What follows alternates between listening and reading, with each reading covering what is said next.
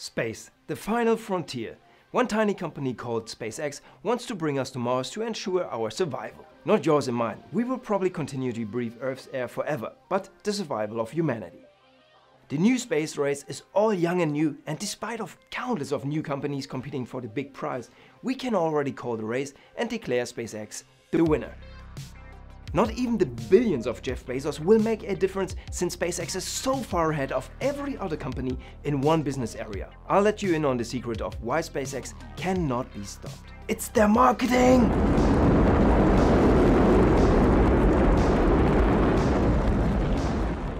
Of course, the stupid marketer says humanity will survive because of marketing. But hear me out. Let's set the scene. It's the late 90s to early 2000s and the old space race was over.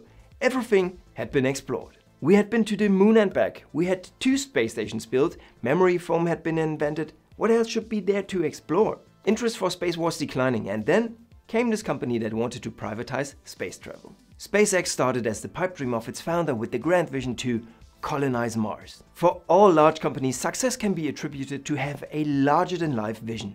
Nike wants to build the best shoes for runners, Apple wants to encourage different creative lifestyles, and Coke wants to rob people's drinking water and increase the number of kids with diabetes. Having a vision is a must in today's day and age and SpaceX vision is as big as it gets. It serves as the magnet for people's attention. By having this big vision to colonize Mars, SpaceX accidentally created a new category for space which is today known as the new space race. Of course, the vision is only the foundation, but it's not everything. If I said I wanted to fly to Alpha Centauri, nobody would come. The same is true for if I said I wanted to launch some new satellites into space. Nobody would come either. Since great engineers are another cornerstone of SpaceX success and most of them already worked at NASA, SpaceX needed to offer something bigger, unachievable under NASA's roof. To attract engineers from NASA, SpaceX had to take their vision and combine it with something completely else and they chose to embrace their nerd and digital culture to create something bigger. The result is what attracts us mortal people to SpaceX as well. It's authentic, it's relatable, and we're all a bit weird and not pristine and clean like NASA. Just look at the fact that their Falcon rockets are named after the Millennium Falcon from Star Wars, or that they launched a Tesla into space just because they could, SpaceX being authentic and relatable makes us root for them because they represent a classical underdog story. Nobody believed in them when their first three rockets exploded and they went almost bankrupt. And now they launch astronauts into space. To understand how that worked, we have to look at one very important business decision in their history. SpaceX understood that B2B is their core business, but exciting B2C branding makes everything easier. Just remember that decision makers at NASA and other space companies are humans as well they enjoy the prestige that comes from working with cool brands just like any other person on this planet. Employees like to work for cool brands as well and suppliers will bend over backwards for you if you have a cool brand they can be associated with. In the past NASA had proven that you could build a consumer brand around a space program even though it was never their focus. SpaceX understood that building a brand could be a major asset but they had to be different from everything that was already out there. They decided to fully embrace their roots and underdog status and build a cool brand. The result is that the astronaut shuttle is a Tesla with wing doors and when they created their own spacesuits, they made sure they looked cool. This is also what sets SpaceX apart from Blue Origins, Rocket Lab, Astra, Firefly and all other new space companies. The other companies are copying SpaceX or are just vanilla. But before we look at SpaceX competitors, there's one thing. You may wonder, why hasn't this guy mentioned the most recognizable representative of the entire company? Because if you summon him, he will come. So let's summon him. Elon. Elon. Elon. No video about SpaceX marketing efforts would be complete without Elon Musk. It is safe to say that Elon Musk is the brand ambassador and the public face of the company.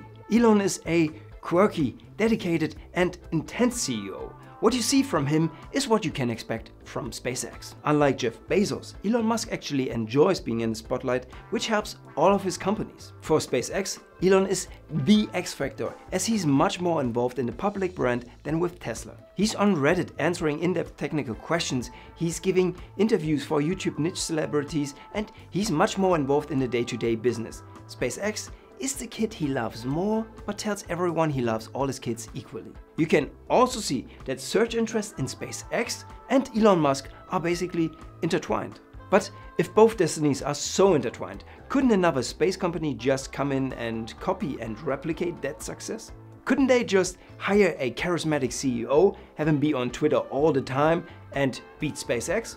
The thing with these other space companies is that they are engineering driven and marketing and sales take a backseat to everything that's technical.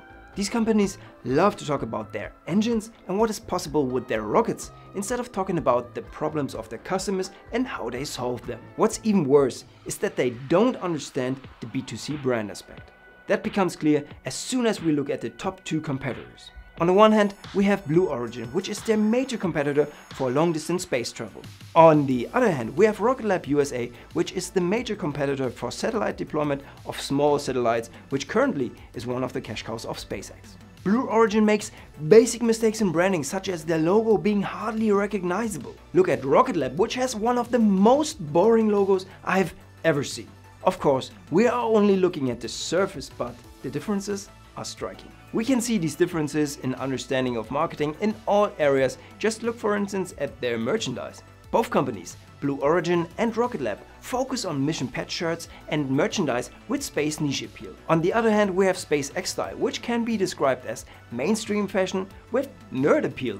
Just look at the Falcon 9 shirt as contrast to the Blue Origin shirts and you can see it's just that much better.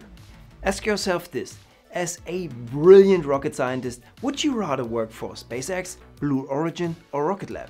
A hint of what other engineers may think, here are some screenshots from LinkedIn about the average tenure of these new space companies. As you can see, SpaceX has twice the retention of all other new space companies. What that means for SpaceX is when your median tenure is twice that of your competitors, you stockpile the best talent and you get the chance to develop your employees even further. Don't get me wrong, all three companies are great companies and all will achieve great things, but only one has a better understanding of their audience and marketing.